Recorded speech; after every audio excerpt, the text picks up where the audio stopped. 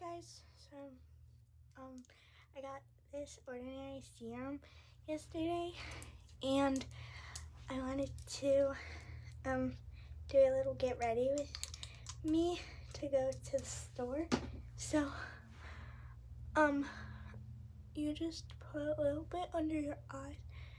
It's like if you get it, it's like very slimy and stuff. And it's like very good for your skin. And it's only six dollars if you get it from Ulta. If you get it from Tar or get it from Target, it's like six dollars. But if you get it from like Sephora and stuff, it's like two dollars more. It's really good. So you might as well want to go back. You might as well want to go to part two to see what else I do.